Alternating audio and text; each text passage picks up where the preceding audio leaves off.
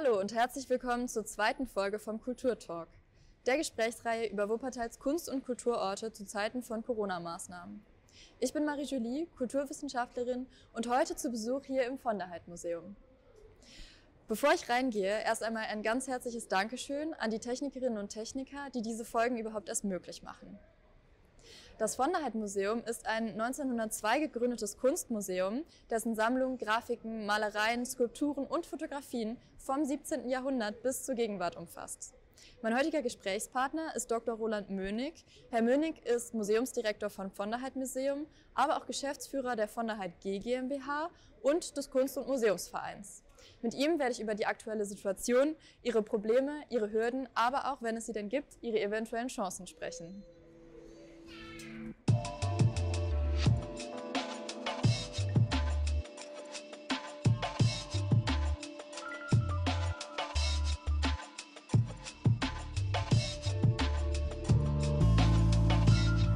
Guten Morgen, Herr Mönig.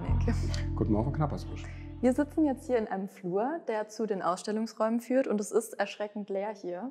Das liegt allerdings zum Glück nicht mehr an den vorangegangenen Schließungen, sondern daran, dass wir 10 Uhr morgens haben und sie erst um 11 ihre Türen öffnen. Sie haben jetzt ähm, heute das zweite Mal oder öffnen jetzt heute das zweite Mal seit wie langer Zeit Ihre Türen? Seit einem knappen halben Jahr, vier, fast fünf Monate. Das ist eigentlich äh, unglaublich. Das ja, ja. Wie war das gestern für Sie, dann zum, auch für Sie zum ersten Mal ähm, ja, Besucher zu empfangen hier? Das war für uns alle beglückend und befreiend und zugleich äh, auch eine ganz eigentümliche Erfahrung. Wir haben jetzt gestern zum ersten Mal eine Ausstellung eröffnet, die eigentlich seit November fertig stand, die im November offiziell an den Start hätte gehen sollen.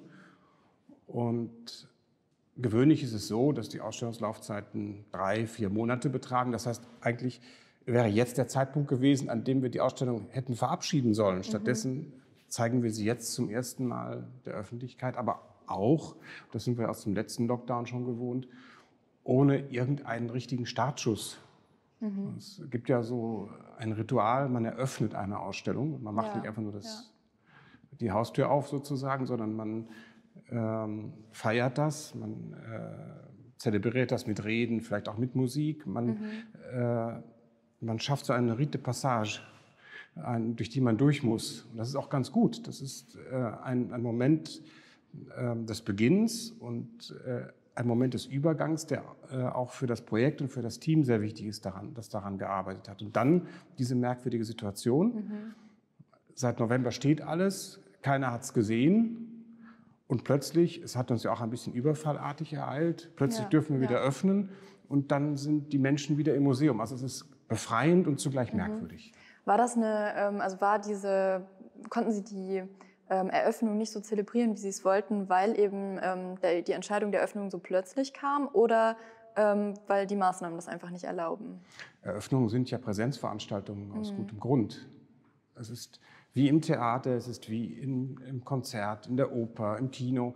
Das ist ein äh, Augenblick, in dem viele Menschen zusammenkommen, um gemeinsam ein besonderes Erlebnis zu teilen. Und das geht ja nicht. Mhm, ja. Es gibt Häuser, die tatsächlich im Augenblick rein digitale Eröffnungen machen und sogar während des Lockdowns Ausstellungen eröffnet haben, die keiner sehen konnte. Es gab dann eine Online-Eröffnung mhm. mit Reden und äh, äh, fingierten Rundgängen durch die Ausstellung. Das ist aber aus meinem Gefühl nicht das Gleiche. Mhm. Das ist etwas komplett anderes. Das ist äh, etwas, was wir jedenfalls noch nicht getan haben. Wir müssen mal gucken, was die Zukunft uns bringt, wie mhm. lange die Einschränkungen noch erhalten bleiben. Sie haben keine direkt digitale Führung angeboten, aber Sie haben ja schon ähm, andere Arten von Führungen angeboten. Auch doch, wir haben multimediale Führungen angeboten. Ja. Das ist ein Angebot, das wir tatsächlich eigens während der letzten äh, vier, fünf Monate entwickelt haben. Mhm. Gerade auch für die Ausstellung äh, Vision und Schrecken der Moderne. Ich glaube, den Titel haben wir noch gar nicht genannt, ja. über, den wir die, über den wir die ganze Zeit ja. reden. Gerade für diese Ausstellung, weil wir das dringende Bedürfnis hatten, das zu vermitteln und ein bisschen auch vorzubauen, in der Hoffnung darauf, irgendwann doch mhm. zeigen zu können, was da steht, haben wir multimediale Führungen angeboten und die werden gut angenommen. Das mhm. ist auch eine interessante Lehre aus diesem diesem Moment der Krise. Krise heißt ja nicht nur, dass etwas komplett negativ ist. Krise mhm. ist ja dem griechischen Ursprung nach eigentlich der Wendepunkt. Mhm. Und für uns war das im Nachdenken über Vermittlung schon ein Wendepunkt, weil wir gesehen haben, man kann mit Hilfe äh, einer multimedialen Präsentation online den Leuten ein ganz gutes Gefühl für die Themen mhm. einer Ausstellung geben. Man kann sehr gut und sehr tief vermitteln, auch auf andere Weise vermitteln als im Rahmen einer Eröffnung, wo ja immer auch viel inhaltlich erzählt wird, oder im Rahmen von Führungen. Und es ist ähm, tatsächlich so, dass wir an diesem Format mit hoher Wahrscheinlichkeit festhalten werden. Also dieses mhm. Online-Format wird es wahrscheinlich auch in Zukunft ja. weitergeben. Selbst ja. dann, wenn wir wieder Präsenzveranstaltungen machen dürfen. Haben Sie da eine gute Resonanz bekommen, auch von den Besucherinnen, ja. wenn man das dann so nennen kann? Ja, also nicht nur, dass diese, diese Gelegenheiten eigentlich äh, fast alle ausgebucht waren in der Vergangenheit. Wir haben das Angebot jetzt verstetigt, mhm. sondern wir haben auch tatsächlich von den Leuten gehört, explizit, das ist so eine tolle Form, sich einer Ausstellung zu nähern, macht das bitte weiter. Mhm. Ähm, verabschiedet euch nicht davon. Mhm. Gebt uns weiter die Möglichkeit, so intensiv in ein Thema einzusteigen. Hat sich da auch jemand geäußert, ähm, aus welchem Grund das dann so gut angekommen ist? Also hatte das dann so einen Bequemlichkeitsfaktor oder vielleicht auch so einen, so einen Barrierefaktor, dass man gar nicht in so einen, ja, vielleicht auch für für äh, manche Menschen erschreckenden, imposanten Bau gehen muss, um sich das anzuschauen. Oder eher, ich habe nicht so viel Zeit oder ich bin vielleicht überhaupt gar nicht in Wuppertal. Mhm. Wir machen ja gerade neue Barriereerfahrungen. Was Sie beschreiben, das äh, Museum als ein Imponierbau, das soll mhm. es natürlich auch immer sein, nicht um die Leute abzuschrecken, sondern um sie einzustimmen auf eine andere Form von Erfahrung, jenseits der Alltagsrealität, mhm. die Sie kennen. Das ist so die Schwelle, die Barriere, die wir bisher kannten und mhm. gegen die wir vermeintlich immer am meisten gekämpft haben. Ich weiß nicht, ob das wirklich eine Barriere ist, das nur unter mhm. uns.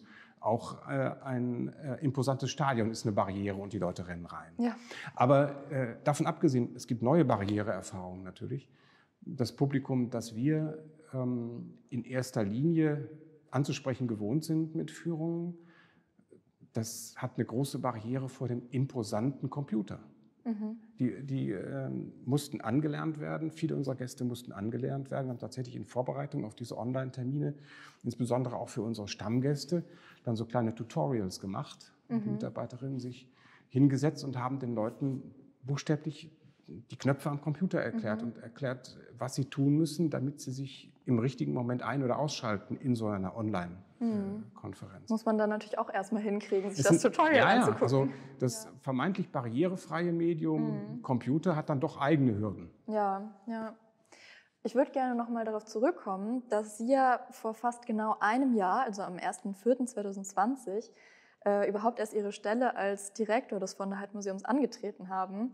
Und ähm, wie war das dann damals für Sie mitten im ersten Lockdown? Ah, was soll ich sagen? Äh, der 1. April ist immer ein Datum, an dem man äh, Überraschungen erlebt. Ähm, ich hatte mir das natürlich komplett anders vorgestellt. Wir alle. Ich meine, ähm, ich habe im Vorfeld natürlich schon viel mit den Kolleginnen und Kollegen hier im Haus gesprochen. Wir haben uns immer mal wieder abgestimmt. Und ab Mitte Februar war klar, wir würden in eine sehr merkwürdige Situation kommen. Und als ich am 1. April anfing, war das Museum sogar leer. Die Ausstellungen, zwei große Ausstellungen waren gerade zu Ende gegangen. Das bedeutet immer eine Phase des Umbaus. Und genau in dieser Umbauphase, die Räume waren gerade leer gezogen und hätten jetzt wieder gefüllt werden sollen. Gerade in dieser Phase des Umbaus ähm, kam die Anordnung, alles nach Hause, alles ins Homeoffice, keine direkten Kontakte mehr, kein Arbeiten in Gruppen, was man braucht, wenn man Ausstellungen aufbaut. Das Haus war also leer. Das ist äh, eine merkwürdige Situation, dass man durch leere Räume ging und noch nicht mal die Sammlung an den Wänden mhm. hing. Ja, das hört sich wirklich nach einer bizarren Situation an, als wäre das Museum auf einmal ausgelöscht. Und viele äh, der Kolleginnen und Kollegen waren auch nicht in den Büros. Es mhm. gab so eine äh, so ein, ein Schärflein der sieben Aufrechten, die mir dann äh, geholfen haben, mich einzufinden. Für mich war ja auch alles neu. Mhm. Und dann haben, hat meine Sekretärin, die Kollegin aus der Öffentlichkeitsarbeit, meine Stellvertreterin, ähm, unsere Verwaltungsleiterin, die haben sich so ein bisschen abgewechselt, um mir die Hand zu reichen und mir zu zeigen, buchstäblich, wo die Bleistifte liegen. Mhm. Und äh, mir das Einleben überhaupt zu ermöglichen und zu erleichtern. Sie hatten dann ähm, relativ bald ja auch mit der Planung der digitalen ähm, Führung angefangen. Ähm, wie, ist, wie ist das abgelaufen? Also haben Sie sich da an anderen orientiert oder haben Sie gesagt, okay, wir müssen uns jetzt zusammensetzen und gucken, wie wir irgendwie noch Museumsbesuche anbieten können? Da kamen mehrere Faktoren zusammen. Also von vornherein war es bei mir ein Wunsch gewesen, das digitale Angebot auszubauen. Okay, schon vor, vor das, Maßnahmen. Ja, das war Start. auch das war ein Desideratum eigentlich. Das, das mhm. stand an. Mhm. Ähm, deswegen gab es schon bestimmte Gedanken in die Richtung, aber in der Verschärfung war natürlich keiner vorbereitet und mhm. es gab auch keine Modelle, an denen man sich orientieren mhm. konnte. Wir haben dann viel improvisiert, wir haben sehr viel mit Bordmitteln gemacht. Da war das ganze Team auch enorm flexibel und erfinderisch. Da hat sich keiner rausgezogen, sondern alle haben äh, versucht, aus ihren Möglichkeiten für ihren Bereich die Dinge nochmal neu zu denken. Es gab aber kein, keine Benchmark, es gab keinen Orientierungspunkt, mhm. an dem man äh, beginnen konnte. Es war für mhm. uns alle neu. Und wir hatten auch nicht das Equipment. Ja, ja klar, das ist wir dann auch nochmal eine große Hürde. An einigen Stellen nachrüsten. Mhm. Äh, viele Kolleginnen sind dann auch mit ihren Privatgeräten gekommen, damit wir überhaupt irgendwas machen konnten. Mhm. Wir hatten äh, mit der Stadtsparkasse Wuppertal äh, zu diesem Zeitpunkt einen guten Partner auch an der Hand, mit dem wir eine Ausstellung gemacht haben. Eine Kreuzung der beiden Sammlungen, der Firmensammlung Sparkasse und der städtischen Kunstsammlung von der Museum. Und äh, aus dieser Partnerschaft ist dann auch ein Digitalprojekt erwachsen, weil die Ausstellung äh, auch nicht eröffnet werden konnte in der traditionellen Form, aber die Sparkasse das Bedürfnis hatte, legitim zu sagen, äh, wir wollen das Publikum erreichen, wir wollen, wir wollen auch darstellen, was diese Kooperation bedeutet hat. Und dann haben wir zusammen mit denen einen, äh, eine erste virtuelle, einen ersten virtuellen Rundgang mal gebaut mit 360-Grad-Kamera mhm. und so. Das war dann auch in der Partnerschaft, auch mit der Unterstützung der Stadtsparkasse möglich. Das hätte sonst außerhalb unserer Möglichkeiten gelegen, das so äh, spontan mhm. zu tun. Was macht denn Ihrer Meinung nach ähm, so ein echter Ausstellungsbesuch aus? Also was, ähm, was sind die, welchen Wert hat das Reale da im Gegensatz zu, zum digitalen Ausstellungsbesuch? Sie brauchen Museen für das Reale. Wenn Sie das Reale nicht wollen oder wenn sie das Reale für entbehrlich halten, dann brauchen sie keine Museen. Museen sind Orte. Museen haben Räume. Museen haben nicht nur eine Architektur, die einen visuellen Rahmen gibt, sie haben auch einen Klang. Sie, haben, sie, sie strömen ein bestimmtes Gefühl aus. Und manchmal sind sie auch Barrieren in ihrer Erscheinung. Aber ähm, es, sind, es sind immer Orte, die einen auf eine besondere Weise als ganzen Menschen packen. Mhm. Und in diesen besonderen Orten sind besondere Dinge, die unsere Kultur in der einen oder anderen Weise repräsentieren, die ein Gedächtnis, ein kollektives Gedächtnis repräsentieren. Und das Gedächtnis hängt an den Dingen, wie in unser aller Leben. Man kann alles digitalisieren, aber ein Souvenir nicht. Mhm. Also ein ja. Souvenir ist eine Erinnerung. Ja. Hm? Wir wissen alle, Dinge sind für uns das Orientierungsmerkmal schlechthin. Und das sollten Museen bieten. Sie sollten Dinge, die für uns alle von Bedeutung sind, so zeigen, dass sie zum Erlebnis werden. Und dieses Erlebnis hat man nur an dem realen Ort als realer Körper im Gegenüber mit anderen körperlich vorhandenen Dingen. Das ist nicht ersetzbar. Da bin ich fest überzeugt. Also sind die digitalen Ausstellungen keine wirklich gleichberechtigte Alternative zum Nein. realen Museumsbesuch. Die sind äh, wirklich, ähm, die sind Avatare der Kunst. Mhm. Das sind keine realen äh, Dinge. Aber es ist ganz wichtig, dass wir dieses Instrument haben, dass wir die Möglichkeit haben, solche mhm. Zugänge jetzt zu schaffen. Es kommt aber noch was anderes dazu. Ich habe ja bewusst ich, äh, nicht davon gesprochen, dass Dinge eine Aura haben. Mhm. Darum geht es mir auch gar nicht, obwohl die Dinge eine Aura haben. Mhm. Das merkt man immer wieder, wenn die Leute sich hier durchs Haus bewegen, wie die sich den Objekten, den Kunstwerken nähern. Man spürt, da passiert was. Ich will das aber gar nicht äh, mystifizieren. Etwas anderes ist noch mindestens genauso wichtig. Ein Museum ist manchmal am schönsten, wenn man mit den Werken alleine ist. Aber es ist immer auch ein Ort, an dem Kommunikation stattfindet. Es ist ein sozialer Ort. Es ist ein Ort, an dem Austausch stattfindet. Mhm. Das ist im Extrem spürbar, wenn Sie eine große Veranstaltung haben, wenn Sie eine Eröffnung haben. Das ist äh, im Extrem spürbar, wenn Sie eine Ausstellung haben, die sehr gut läuft, weil alle einfach hinwollen. Mhm. Das ist aber auch spürbar, wenn Sie ein Museum im äh, vermeintlich unauffälligen Normalbetrieb haben. Wenn die Leute durchflanieren, in, äh, alleine oder in kleinen Gruppen, wenn sie sich begegnen. Das ist ein Ort, an dem Austausch zwischen Menschen stattfindet. Das ist ein offener Ort. Mhm. Und dieser offene Ort ist über die Monate jetzt geschlossen gewesen. Jetzt haben wir ihn wieder auf. Das ist wirklich fantastisch. Es ist wirklich eine Befreiung und Erlösung für uns alle, die wir ja nichts anderes tun den ganzen Tag, als dafür zu sorgen, dass die Menschen etwas Interessantes vorfinden bei uns und dass sie sich wohlfühlen. Und als dann gestern die Leute kamen, war auch das, das Glück in den Gesichtern zu spüren, also das, was man sehen konnte. Ja, das glaube ich. Oberhalb der Maske. Mhm. Es war schon was los in den Augen, die man da sah. Mhm. Aber dann sagte ein Gast mir, es ist ja toll, dass ich wieder kommen kann, aber wissen Sie, was ich am liebsten tue? Ich komme einfach zwischendurch. Die Leute müssen jetzt ein Zeitfenster buchen, müssen sich auf dieses Zeitfenster festlegen. Aber zum Museum als offenem Ort, als Ort der Kommunikation, auch der zufälligen Begegnung von Menschen untereinander gehört es, dass man einfach reingehen kann. Mhm.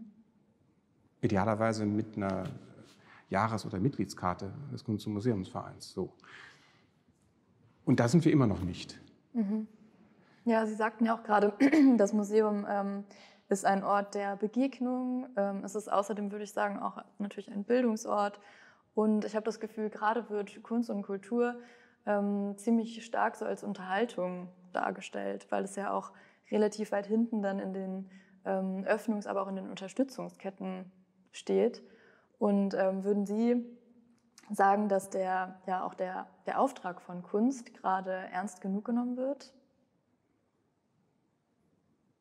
Mit Sicherheit wird er nicht ernst genug genommen. Die Frage ist, ähm, wo da die Gründe liegen. Liegt es daran, dass es unbequem ist? Oder liegt es daran, dass vielleicht die Museen, die Kultureinrichtungen selber auch in ihrer Arbeit, in ihrer Außendarstellung Dinge verkehrt gemacht haben?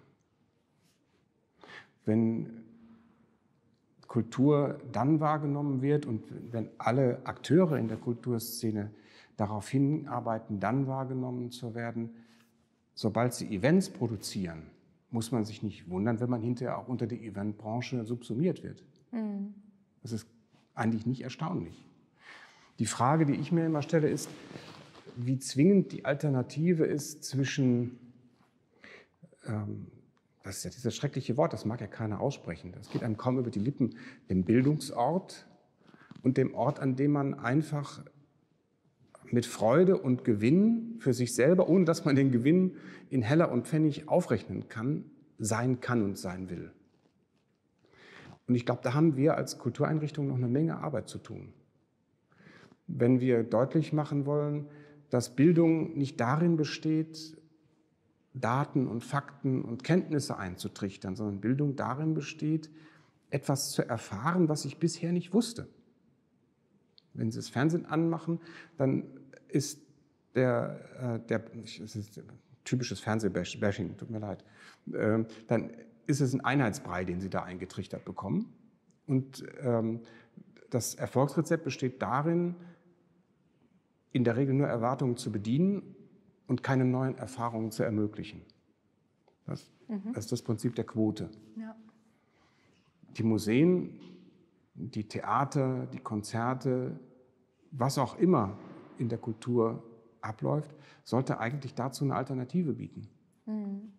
Wir sollten keine Spaßverderber sein. Ich finde, nichts sollte mehr Spaß machen, als sich diese Angebote zu bedienen und zu spüren, dass es diese Angebote gibt aber wir sollten auch deutlich machen, dass wir eben mit gutem Recht etwas anderes tun. Dass wir eine Erfahrung bieten, die anders sein kann und anders sein muss. Mhm. Das ist anstrengend. Mhm. Ja, das glaube ich. Ähm, die Genau, die Überbrückungs- und Corona-Hilfen, ähm, die ja vielleicht auch eine gewisse Wertschätzung der Kunst und der Kultur zeigen könnten. Ähm, das haben wir auch im vorangegangenen Gespräch nochmal bestätigt bekommen, sind eigentlich nicht wirklich ausreichend, um den Kulturbetrieb ähm, und eben auch die ganzen Mitarbeiterinnen und Mitarbeiter, die da dranhängen, aufrechtzuerhalten. Ähm, das heißt, finanziell kommen da ähm, Kunst- und Kulturschaffende absolut an ihre Grenzen gerade. Ähm, wie sieht das da bei Ihnen aus? Also sind Sie da durch Ihre ja, Förderer, sage ich auch mal, besser aufgestellt oder ähm, ja, haben Sie da auch Probleme, größere Probleme als vorher? Die Situation der Museen ist etwas anders als die Situation der Live-Kultur. Mhm. In der Live-Kultur, das sage ich jetzt aus meiner Laienperspektive, das werden die Kolleginnen und Kollegen, mit denen Sie sprechen, sicher differenzierter darstellen können, haben Sie natürlich viel auch mit freien äh, Leuten zu tun, die auftreten, mit Künstlern, die von Engagement zu Engagement gehen. Ähm, und sie sind immer angewiesen darauf, dass durch ähm, bestimmte Formate auch wieder Geld durch Publikum reinkommt. Natürlich gibt es immer auch eine Grundfinanzierung. Aber das, die Situation der, der, der Live-Kultur ist, glaube ich, viel dramatischer als für die Museen und insbesondere dann, wenn die Live-Kultur in freier Trägerschaft oder unternehmerisch gestemmt wird. Mhm. Institutionen wie die Museen haben es da etwas günstiger. Wir haben auch viele freie Mitarbeiter, Mitarbeiterinnen, vor allen Dingen äh, in den Satellitendiensten. Also die unendlich vielen Führungen, die jedes äh, Jahr bei uns gemacht werden, die Workshops, die ganzen äh, Angebote, die nur vermeintlich am Rand stattfinden, die aber eigentlich den Kern der Vermittlungsarbeit bilden, die werden durch Freie abgebildet. Und da gibt es wirklich enorme Probleme. Und äh, da können wir im Moment auch kaum helfen, wir können kaum dagegenhalten. Wir haben dann einige äh, der Online-Angebote mit Hilfe der Freien realisiert, zum Beispiel Audiospuren, die man über einzelne Kunstwerke auf unserer Website mhm. äh, abrufen kann, haben wir mit ihrer Hilfe realisiert, als wenigstens eine kleine Kompensation für die ganzen entgangenen Führungen. Mhm. Aber die Museen und die übrigen staatlichen äh, oder städtischen Einrichtungen haben natürlich den Vorteil, dass ihre Strukturen von der Gemeinschaft getragen und gewollt sind und aufrechterhalten werden, unabhängig davon, wie viele oder wie wenige Besucher ins Haus kommen. Und deswegen muss ich sagen, wir haben enorm viele Verunsicherungen erlebt und es ist bei uns so wie für alle in allen Lebens- und Geschäftsbereichen. Es gibt nichts Schlimmeres, als wenn man nicht weiß, wofür und wohin mhm. man arbeitet. Ja. Ja, die Problematik werden Sie wahrscheinlich auch ja. immer noch haben, trotz ja, also der die, die, Teilöffnung jetzt. Die Theater äh, mhm. produzieren jede Menge tolle Stücke auf Halde, mhm. können sie nicht zeigen. Es ist enorm ja. frustrierend, da kommt nichts zurück. Genauso Ihre Ausstellungen auch, die eigentlich jetzt schon vorgearbeitet werden. Ne? Wir haben Ausstellungen tatsächlich jetzt, äh, wir haben das Programm schon äh, dreimal umgestrickt mhm. seit dem ersten Lockdown und wir sind immer noch dabei, die weiteren Folgen zu bearbeiten. Das geht mit Sicherheit noch äh, in das nächste und übernächste Jahr hinein, möglicherweise noch weiter, je nachdem, wie lange das Drama andauert und mhm. Äh, wie schnell die ganzen Maßnahmen greifen, um die Situation wieder in den Griff zu kriegen. Und jetzt wird es interessant, weil wir eine besondere Situation haben. Wir sind ein städtisches Haus, also insofern sicher, aber in unserem Ausstellungsbetrieb sind wir auf der einen Seite freier. Wir haben eine GmbH, eine gemeinnützige GmbH, mit der wir diese ganzen Aktivitäten abwickeln. Wir sind dadurch freier, aber auf der anderen Seite sind wir auch in diesen Aktivitäten auf Einnahmen angewiesen. Mhm. Und wir können nur dann die Ausstellungen realisieren und die Ausgaben decken, wenn auf der anderen Seite Einnahmen stehen. Und da kommen wir jetzt gerade in eine Disbalance. Mhm. Es ist mhm. noch nicht dramatisch. Auch da gibt es äh, viel schlimmere Fälle, äh, gerade auch bei den rein privat geführten Museen. Und insbesondere dann, wenn Sie etwa in die angelsächsische Welt gucken, wo es einen, äh, einen Schreckensruf gibt, dass zwischen 30 und 50 Prozent der Museen diese Krise nicht überleben könnten. Tragisch, ja. Äh, aber auch da müssen wir uns darauf einstellen, dass wir Dinge kompensieren müssen, dass wir Programme anders zuschneiden müssen, dass wir vielleicht bestimmte Themen anders, vielleicht auch mit kleinerem Budget abdecken müssen. Denn wir wissen auch noch nicht, was es bedeutet, wenn wir wieder in einen normaleren Betrieb kommen. Wir wissen nicht, ob die Besucherströme so funktionieren werden, wie sie vor der Krise funktioniert haben, ob die Mobilisierung genauso funktionieren wird mhm. wie vor der Krise. Ob es fast so eine Gewohnheit daran gibt, jetzt von zu Hause ja, zu konsumieren, zu arbeiten. Ich bin nach dem gestrigen Tag insbesondere sehr optimistisch. Mhm. Äh, ich habe das Leuchten in den Augen gesehen oberhalb der Masken. Wir haben darüber gesprochen.